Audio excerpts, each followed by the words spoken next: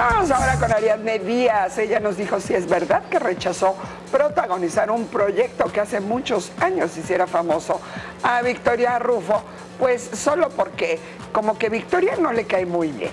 Veamos. Eso es una estupidez. Yo creo que verdaderamente ya Victoria Rufo está haciendo muchas cosas por su lado y yo estoy haciendo las mías.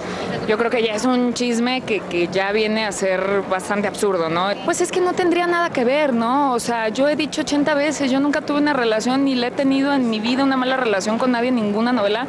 Bendito sea el Señor pero si así hubiera sido, como que qué tendría que ver una cosa con la otra, ¿no? Y es que cabe señalar, al parecer la relación entre ambas actrices no fue la mejor mientras compartieron créditos en la pantalla chica.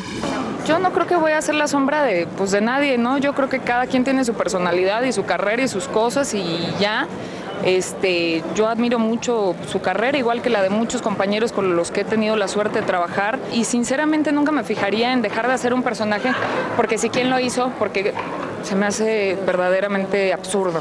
Pero este no será el único melodrama que rechace hacer, por lo menos durante un buen tiempo, pues nos confesó quiere enfocarse en el cine.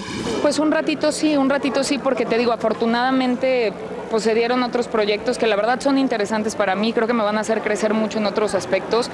Nunca había hecho cine, he hecho muy poco teatro, entonces creo que de alguna manera todas estas cosas que, que se me están presentando ahora, pues sí vienen a darme una posibilidad muy grande de ser mejor actriz, de tener nuevas experiencias, de tener mejores compañeros, bueno, otros compañeros, entonces de alguna manera pues es interesante, ¿no? Informó Elizabeth Soria.